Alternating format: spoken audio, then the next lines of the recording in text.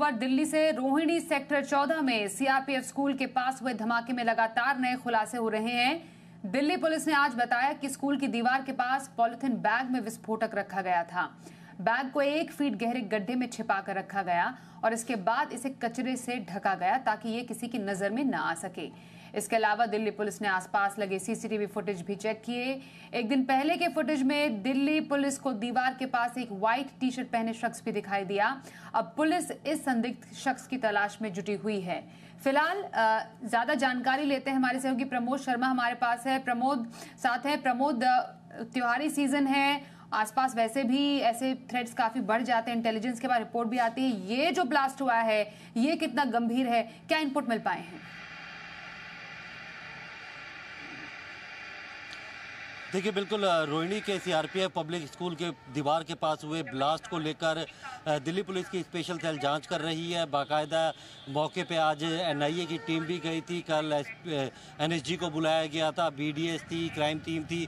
तो कई सारी एजेंसीज लगकर जो है जाँच कर रही थी और जो एक्सप्लोसिव है, वो किस नेचर का था, किस तरीके से उसे तैयार किया गया था, उसकी जानकारी जुटाई जा रही थी। कई सारे सैंपल्स जो है वो लिए गए थे, जिसमें से कुछ वाइट पाउडर जो है वो मिला था। उसके अलावा कुछ ऐसे केमिकल थे जो कि अभी तक की जाँच में साफ़ हो पाई है, यानी कि ये क्रूड बम बताया जा रहा था और इसमें कुछ वायर और पेंसिल सेल भी मिले थे, यानी कि इसके अंदर आईडी होने का भी पूरे पूरे पूरा शक है। फ़िलहाल इस पूरे मामले में जाँच करें। सीसीटीवी फुटेज के आधार पर करीब सौ से ज़्यादा सीसीटीवी फुटेज स्पेशल दल ने खंगाले हैं। उसमें करीब दो से तीन लोग संदिग्ध ज़रूर नज़र आए, लेकिन अभी तक क्लियर उनका मोटिव नहीं समझ में आया। लेकिन सबसे बड़ी बात यह है कि जिस तरीके से ये ब्लास्ट को अंजाम दिया गया है, उससे एक बात तो साफ़ है कि इस ब्लास्ट को करने के पीछे बिल्कुल भी मकसद लोगों को मारना नहीं था, बल्कि एक मैसेज देना था, और वो मैसेज का सीआरपीएफ स्कूल के बाहर रख के सीआरपीएफ को देना चाहते थे,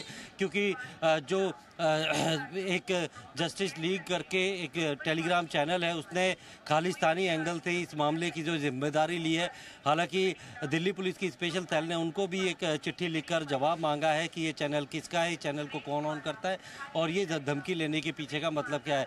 हालाँकि इसको भी जो जानकार हैं वो ये मानते हैं कि ये पब्लिसिटी स्टंट भी हो सकता है, सिर्फ़ अपने चैनल को जो है वो पॉपुलर करने के लिए भी इस तरीके की ज़िम्मेदारी ली जा सकती है। फ़िलहाल अभी तक कोई ठोस एविडेंस जो है वो दिल्ली पुलिस के पास नहीं है, लेकिन पुलिस का यही कहना है कि एक मैसेज देने की कोशिश की थी, क्योंकि सीआरपीएफ लगातार जो है देश भर में जो नक्सली ऑपरेशन है, उनके खिलाफ वो सीआरपीएफ कर रही है तो ऐसे में कहीं सीआरपीएफ स्कूल के बाहर इस तरीके का ब्लास्ट करके जो है कोई मैसेज हम्म। देने की कोशिश तो नहीं किया या फिर खालिस्तानी एंगल इसमें है क्योंकि जो वक्त चुना गया है जो जगह चुनी गई है उससे ये साफ़ है कि बिल्कुल भी लोगों को मारने की प्लानिंग नहीं थी क्योंकि वहाँ पर भीड़ भाड़ रहती है लेकिन सुबह सात बजे डराना धमकाना और इस तरीके से दहशत पैदा करना जैसा प्रमोद आप बता रहे हैं ऐसा ऐसी मंशा हो सकती है लोगों की अब ये किसी ने जानबूझ के किया है, इसके पीछे वाकई कोई गुट है या बदमाशी की गई है, ऐसी किसी भी वारदात को हल्के में नहीं लिया जा सकता है,